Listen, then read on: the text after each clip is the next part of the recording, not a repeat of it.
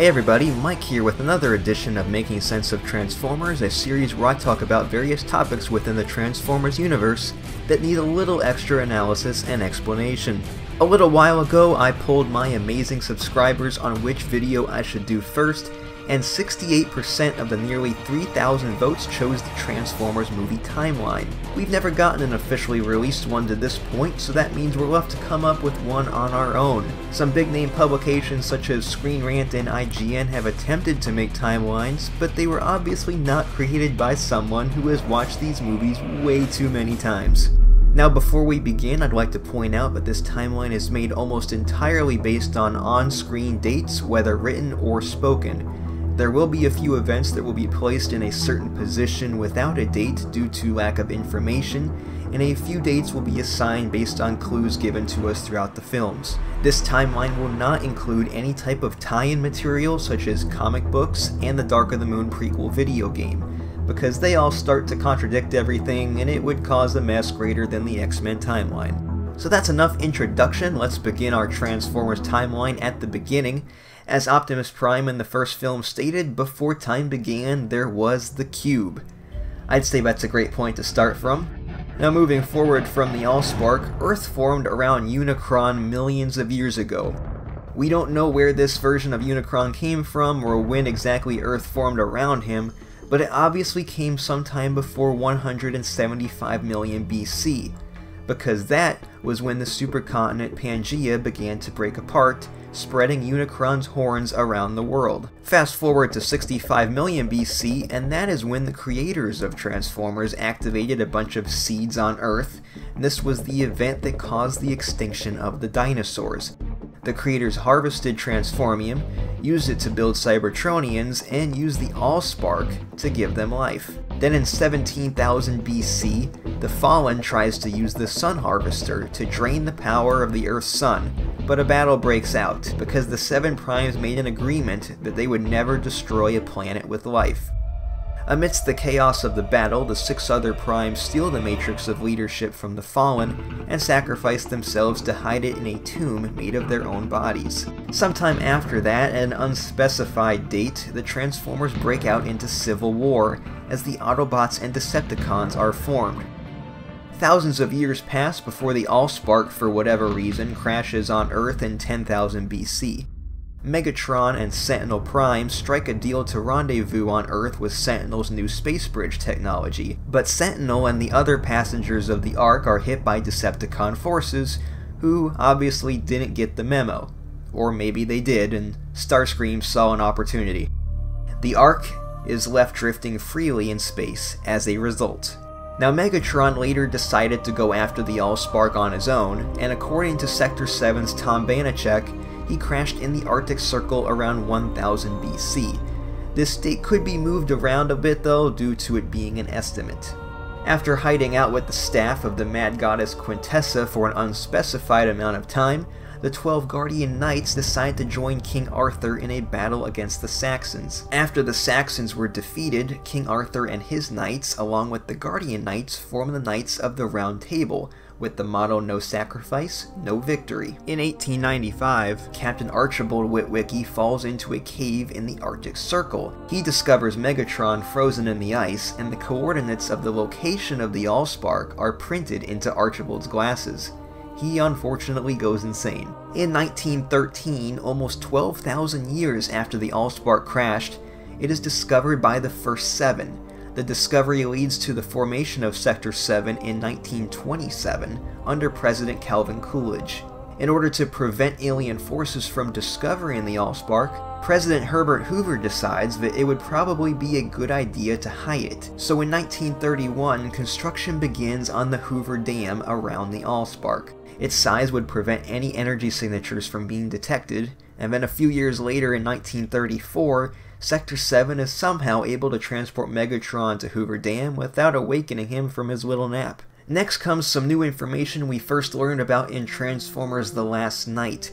Apparently Bumblebee and Hot Rod both came to Earth and fought in World War II.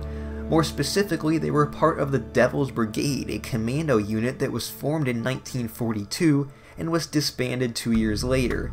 Then, of course, on April 30th of 1945, Adolf Hitler is killed by his very own watch. That's the watch that killed Hitler. Don't screw with it. Things are quiet for a little bit until NASA discovers the Ark carrying Sentinel Prime had crash landed on the moon in mid 1961. The exact date is a little tricky for this event though because the subtitles simply state that it's 1961, but then the official document regarding the impact states that the date is July 10th of 1962. We could go ahead and assume that was a typo, placing the impact on July 10th of 1961. However, John F. Kennedy's speech to Congress about putting a man on the moon happened on May 25th of 1961. So since that really doesn't make sense or line up, it's best to just gloss over this one as a continuity error and say the impact was around the middle of 1961. Now, the US might have been the first country to put a man on the moon, but the USSR sent a camera there first. In April 1963, the Luna 4 takes some photos of the hundreds of pillars on the moon, and then shortly after, the Decepticons end up stealing most of them. Finally, on July 16th of 1969, Neil Armstrong and Buzz Aldrin depart Earth on Apollo 11 and land on the moon four days later on July 20th. It is on that day that they step foot on the Ark. A little over three years later, on December 19, 1972, the crew of the sixth and final manned moon mission returned in Apollo 17. Soundwave and Laserbeak worked with humans to prevent NASA from ever returning. So that Luna 4, well, it wasn't the only unmanned probe sent by the Soviets. One of them picked up the Ark's fuel rod, and after years of tests, it blew up, causing the Chernobyl disaster on April 20th of 1986. Now, depending on if Hasbro and Paramount ever make up their minds, I'll be placing the events of Bumblebee next with an asterisk, as it may or may not happen in this universe. If it did, it would happen in the summer of 1987. Fast forwarding a bit, Judy and Ron Witwicky become the proud parents of Samuel James Witwicky on September 13, 1991. This date has varied from a couple different sources, however, this is the date on Sam's driver's license in Revenge of the Fallen. Now, for a while after this, things seem to be quiet. If Bumblebee is considered canon, there might have been a few things happening to be revealed in later movies, but if not, another Transformers associated event doesn't happen until Christmas Day of 2003. The Beagle 2 Mars rover might have been reported missing, but it wasn't. It successfully landed on Mars and was greeted by a jolly old Decepticon. Finally, we reach the present day events of the five Transformers films, but only two of them take place during the year in which they were released in theaters. The first Transformers film took place in June 2007, we know it's the month of June since Sam just finished up his junior year of high school, and the movie taking place during its release year is backed up by George Bush being president. Can you wrangle me up some ding-dongs, darling? After the main events of the film, a few important things do happen.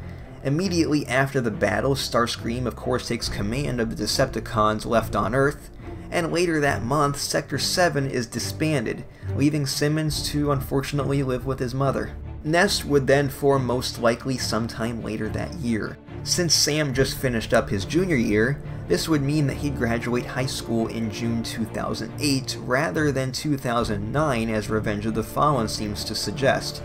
My only explanation for this would be that Sam decided to take a gap year before heading off to college. Now how do we know that Revenge of the Fallen takes place in 2009? Well, that one's pretty simple because Barack Obama is president during the events of the film. And more specifically, the movie takes place in the month of September, because classes at Princeton University typically begin during the first or second week of the month. Also during the events of the film, it is worthwhile to take note that Shockwave was first spotted on Earth at this time as well, as backed up by a newspaper article during the fight against Devastator. Next, we have the big breakup. Sam and Mikaela call it quits on their relationship after growing seemingly so much closer in Revenge of the Fallen. I'm going to place this in early 2010. I'd assume it wouldn't happen so quickly after the battle in Egypt, since they realized they truly loved each other, but it wouldn't happen too much later because Sam meets Carly when he receives a medal from President Obama. Sam would then graduate from Princeton during the last week of May in 2013 after completing his four-year degree in geopolitics, and that takes us straight into Transformers Dark of the Moon. Sam has been job hunting for roughly three months, so we'll go ahead and estimate the events of Dark of the Moon, including the Battle of Chicago, as taking place in September 2013. Nest was disbanded shortly after the battle by a swift move from Congress, so we'll put that during the month of September as well. Later that year, or in early 2014, a CIA unit called Cemetery Wind is formed to hunt evil Decepticons, but Harold Attinger has other plans. Speaking of Adinger, he tells us the Age of Extinction takes place five years after the Battle of Chicago, and we know that Tessa only has two more weeks of school left, so we can place Age of Extinction, the Hong Kong battle, and the departure of Optimus Prime to find his creators in May of 2018. Tessa would then go on to graduate in June while the Transformers Reaction Force, aka the TRF, is formed in mid to late 2018 to hunt down all of the now illegal Transformers and put them in jail. Thank you for your hospitality, Brad. I know where you live, Enrique. Say hello to your wife for me. Finally, this brings us to The Last Knight, which most likely takes place around the year 2020. There's no concrete time references given for this one, but we need to take into account that Transformer jails have already been built, but Tessa is still in college as she's still not with Cade, meaning that the film at least takes place no later than 2022. And there we have it, the complete Transformers movie timeline from start to finish, and I honestly have to say, for as crazy as these movies are with historical events, the timeline makes sense for the most part compared to something like the X-Men franchise, or even recently with Spider-Man Homecoming's 8 years later blunder. That one, it still gets me to this day. Now hopefully I didn't mess anything up with this timeline, but I feel like this is going to be the closest we get to an official timeline for this universe. Now I really hope you all enjoyed this latest edition of Making Sense of Transformers, and thank you to everyone who participated in the poll. The video that finished second place in the polling will be my next Making Sense of Transformers video, and that will feature if Quintessa is actually the creator of the Transformers. Make sure to check out previous episodes by heading to the Making Sense of Transformers playlist on my channel, and just like before, if you have another topic you'd like to see me tackle, leave a comment below. Also, make sure to hit that like button and subscribe for more Transformers related content. Signing out, I'm Mike. See you next time.